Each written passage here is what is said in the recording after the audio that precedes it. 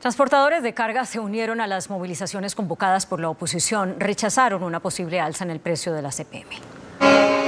En sus vehículos de carga, los transportadores acompañaron las movilizaciones de hoy. Aseguraron que no acordarán ningún aumento en el valor de la CPM con el gobierno. Nosotros no podemos aceptar ninguna propuesta que sea alza de combustible. Lo que tenemos que aceptar es propuestas como aumento de producción de petróleo en Colombia para que no tengamos que importar ningún producto para poder hacer el diésel en nuestro país. Protestaron también por la situación económica del país, que según ellos ha reducido la carga en un 40%. No hay perspectivas de ventas. Los inversionistas han dejado de invertir, están parqueando su dinero para no reinvertirlo en nuestro país. Para nosotros es importante que todos los empresarios sigan reinvirtiendo su, dinero en Colombia, no fuera de él. Por eso es que cada día hay menos carga. El próximo 13 de marzo se espera una reunión entre ministerios de Hacienda y Transporte con el gremio transportador. Respeto por la majestad e independencia del Congreso exigió el presidente del Senado, Iván Name, al presidente Gustavo Petro. Dijo que al Congreso no le pesa la soga del presidencialismo. Les urge mucho el dinero. Un día después de que el presidente de la República dijo que Iván Name se jactaba de parar las reformas en el Congreso de la República, el presidente del Congreso respondió. Pedimos independencia, respeto y ojalá que no haya intervención de otra rama ofreciendo, quitando o poniendo, como ha sido un sistema del modelo presidencial colombiano. Vuelvo a decir algo que dije el día que me posesioné.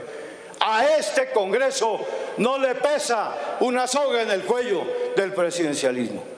Y el presidente Petro replicó. Lo que afirmo es que si no se debate la reforma a las pensiones, millones de ancianos no tendrán la opción de un bono pensional y los fondos privados de pensiones irán a la quiebra. Le solicito al presidente del Senado responsabilidad con la tercera edad de Colombia. Es crítica la situación de la laguna de Lotún, ubicada en el Parque de los Nevados, en Risaralda. En mayo del 2023, la Laguna de Lotún, zona de reserva y conservación que hace parte del Parque Nacional de los Nevados, se veía así. Y hoy la laguna se ve con afectación considerable y su nivel ha disminuido. Por eso, a 3.900 metros de altura y luego un recorrido, las autoridades ambientales hicieron un llamado para mitigar en buena parte el riesgo de desaparición de la laguna de Lotún, que surte de agua a Pereira y otros municipios de Risaralda y Caldas. Bueno, realmente es un panorama bastante complejo, eh, lamentable las condiciones de cambio climático han hecho que todos estos ecosistemas tengan serias alteraciones. Por su parte, el gobernador de Risaralda anunció la compra de predios para iniciar la reforestación, ya que la ganadería y otras actividades agropecuarias, sumadas al fenómeno del niño, han golpeado al Parque de los Nevados. Iniciar un proceso de compra de predios para conservación. Tenemos cerca de 4.000 hectáreas en ganadería extensiva en los límites con el Parque Nacional Natural de los Nevados. El periodo de vida de la laguna de Lotún y el Nevado Santa Isabel está entre los 10 y 15 años, por eso piden una intervención urgente. El ingreso a la laguna de Lotún está restringido, con el fin de evitar la presencia de visitantes, ya que el riesgo de un incendio forestal es latente, debido a las altas temperaturas que se presentan también en el Parque de los Nevados. Finalizaron los trabajos en la vía que de Manizales va a Medellín y al Valle del Cauca. Después de ocho años de trabajos, culminaron las obras de la vía de 4G Pacífico 3 que comunica a Manizales con Antioquia y el Valle del Cauca. En total fueron 146 kilómetros que se intervinieron, en donde se cuenta la vía hacia La Pintada en Antioquia como la que lleva hacia el Valle del Cauca con rumbo a Buenaventura. Empezamos un periodo formal de recibo de la obra, a lo largo del cual ustedes verán el personal destinado por la concesión, finalizando actividades menores, como instalación de tacha, instalación de señalización y finalización de cuneta. Fueron alrededor de 2 billones de pesos los que se invirtieron en la obra, en la que los viajeros se podrán ahorrar por lo menos una hora de viaje hacia Medellín e igualmente hacia el Valle del Cauca. La directora de Bienestar Familiar, Astrid Cáceres, entregó al Congreso un informe detallado sobre una masiva depuración de contratistas de programas de primera infancia.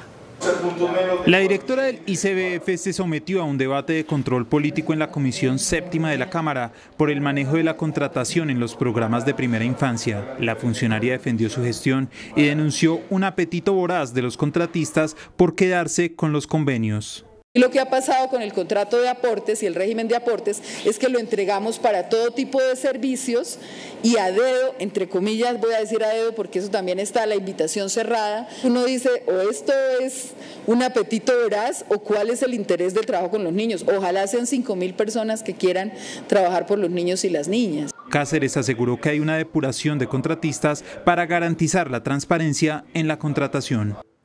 El gobierno decretó un reajuste salarial de 10,88% para los empleados estatales.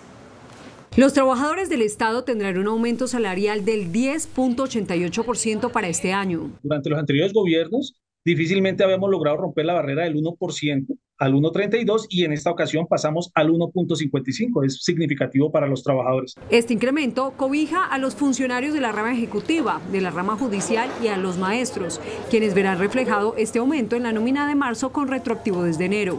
Tenemos una conquista histórica porque hicimos un estudio de cómo estaban los salarios de los maestros, estaban por debajo del resto de trabajadores del Estado. Por lo menos podemos decir que está por encima de la inflación durante muchos años hubo eh, aumentos que escasamente cubrían en la inflación. El aumento beneficiará a 1.300.000 trabajadores y aplica también para ministros y directores de despacho que quedarán ganando más de 26 millones de pesos mensuales.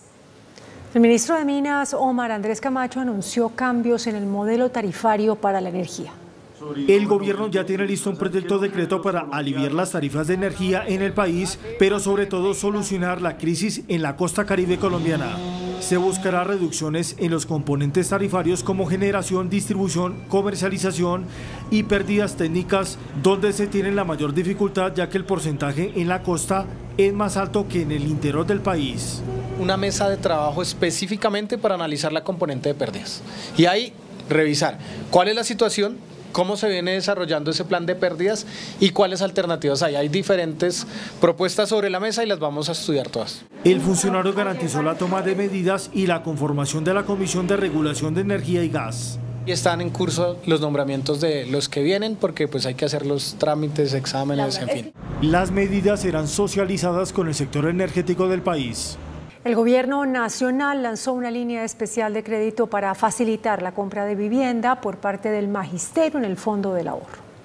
Solo tres de cada diez maestros en Colombia tienen casa propia, por lo que el Gobierno Nacional lanzó una línea de crédito especial con el Fondo Nacional del Ahorro. Estamos lanzando el programa Vivienda Docente que permitirá que dispongan del crédito que requieren para adquirir su vivienda. Los maestros van a poder comprar vivienda nueva, vivienda usada, mejora de vivienda, construcción en lote propia. La tasa de interés de este crédito será la más baja del mercado y no habrá tope para el monto del crédito. Van a tener tasas en condiciones normales desde el 6,3% efectivo anual, tasas muy favorables a lo que se veía muchos años de antes de pandemia. Les vamos a dar otros beneficios adicionales como no cobrarles por el avalúo, no cobrarles por el estudio de títulos. Se estima que 311 mil maestros se verán beneficiados con la línea especial de crédito que se extenderá por cinco años. Los usuarios de microcréditos están colgando con las cuotas de sus préstamos. Eso es lo que dijo la Asociación Colombiana de Instituciones Microfinancieras. La presidenta de ASO Microfinanzas, María Clara Hoyos, manifestó la preocupación de este gremio porque mientras en el año 2018 la cartera morosa del sector era del 5%, en el 2023 superó el 11,6%. Cuando empieza uno a mirar la cartera vencida sumado a los castigos, los resultados son eh, bastante preocupantes. Situaciones que efectivamente no habíamos enfrentado en épocas anteriores. ¿Por qué se están colgando los deudores? Eh, hay muchos factores. Un tema las ventas. Las ventas se les han bajado.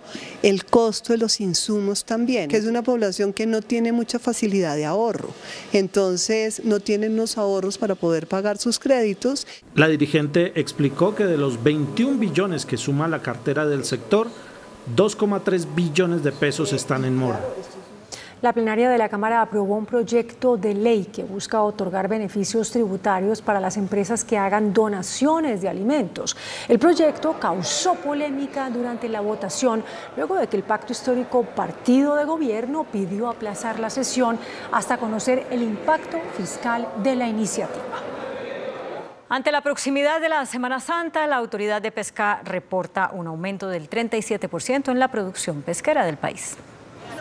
En Colombia la producción pesquera en el último año ascendió a 163 mil toneladas y el sector creció 37% en el último trimestre. La mayor producción se registró en los departamentos del Huila, Meta, Tolima, Cundinamarca y Boyacá, Córdoba y Antioquia. La Autoridad Nacional de Acuicultura y Pesca tiene para esta vigencia una apuesta muy importante que es la transformación productiva. Eh, en cifras lo que queremos es que alrededor de unas 47 mil toneladas sean consumidas en el transcurso de la Semana Santa o la Semana Mayor. La directora de la Autoridad de Pesca reveló que en el sector se generan más de 61 mil empleos directos y más de 183 mil indirectos.